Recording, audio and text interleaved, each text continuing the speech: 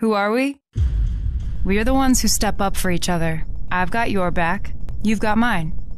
Kindness, humility, empathy. It's not just talk, it's who we are. It's who we always have been. And no one can take that from us.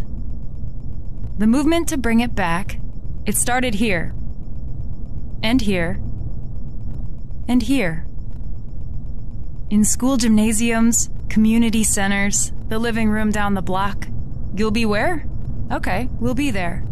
Who are we?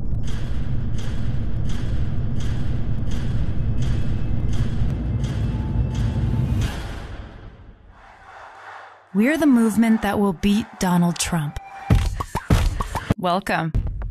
We're going to have to sweat for it. We're going to have to sacrifice and fight.